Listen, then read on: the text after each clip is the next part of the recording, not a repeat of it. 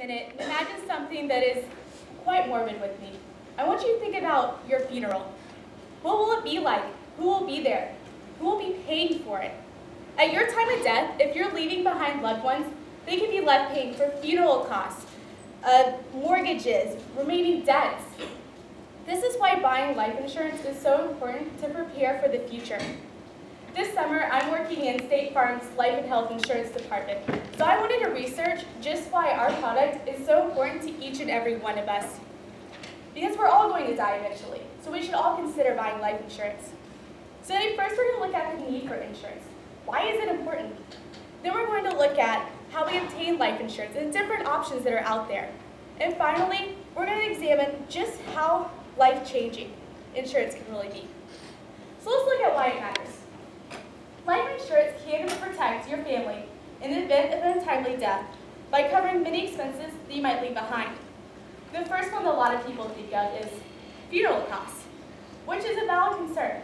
According to Mike Testa in 2014, the average funeral cost was between $7,000 and $10,000. That's a lot of money right off the bat. But it doesn't just stop there. There's so many other expenses that quickly becomes overwhelming. Which is sad because according to um, LIMRA in 2013, the insurance coverage gap is increasing. Wait, insurance coverage gap, like, what is that? Why does it matter? Let's look at this more closely. In 1960, 77% of American households had life insurance. By 1992, this dropped to 55%. By 2010, we reached a 50-year low where only 44% of households had coverage. 44%. This means less than half of America has life insurance. In fact, this need is so great the estimated unmet life insurance need exceeds $15 trillion. That's a lot of money. That's probably more money than all of us put together will ever see in our lifetimes.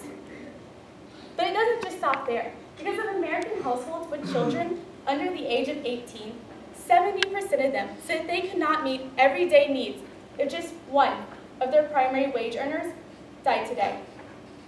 That's a lot of families with children and spouses left not being able to meet tomorrow's needs.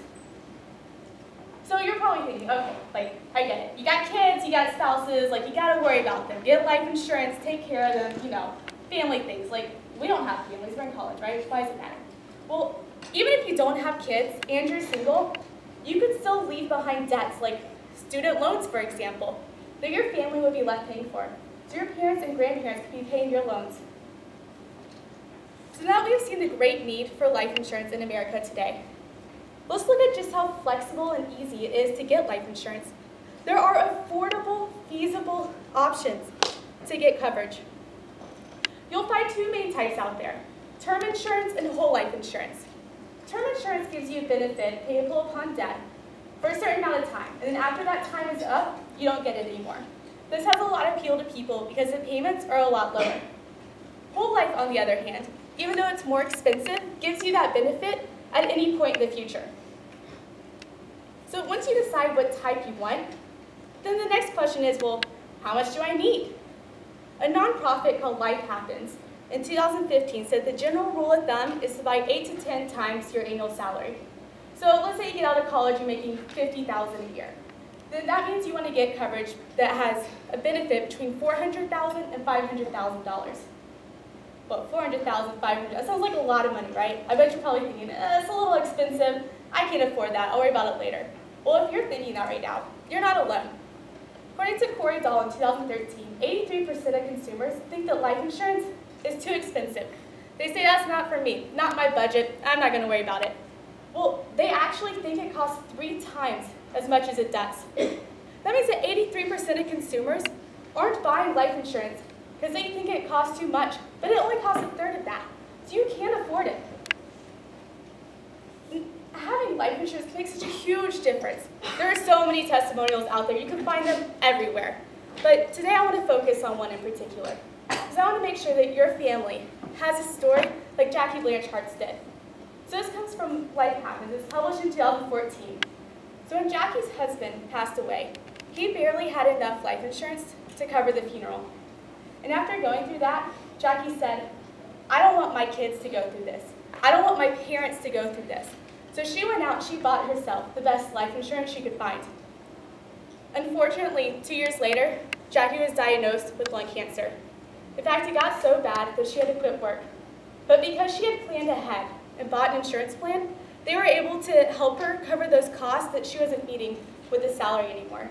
She was still able to travel the country with her kids, making memories that they will cherish for a lifetime. Eventually, Jackie was diagnosed as terminally ill, at which point her insurance gave her access to 75% of the benefits, and she was able to use this money to finance a house and cars for both her parents and her kids. And she was also able to prepay for her funeral. So when she unfortunately passed away at the young age of 38, her family was able to focus on grieving rather than paying the bills. And now her kids are finishing up college. They're living comfortably because their mom had thought ahead and planned for them. It's sad to think that only 44% of households in America will have a story like that. It's sad because buying life insurance is an affordable, feasible action to easily protect your loved ones down the road. When I went to interview for my internship, one of the interviewers, she asked me, she said, how would you describe life insurance in two words? Two words. First, I fumbled around. I was like, oh, like a business opportunity or something like that. So after the interview was over, I asked her, I said, how would you have answered that? That was like a completely unfair question. Like, there's no way. And she said, well, it's really simple. It's a love product. A love product. So today I urge you to consider buying life insurance, at least once you're employed. Do it for your parents and your future children like Jackie Blanchard did. Do it for your future spouse. Do it because of love. Thank you.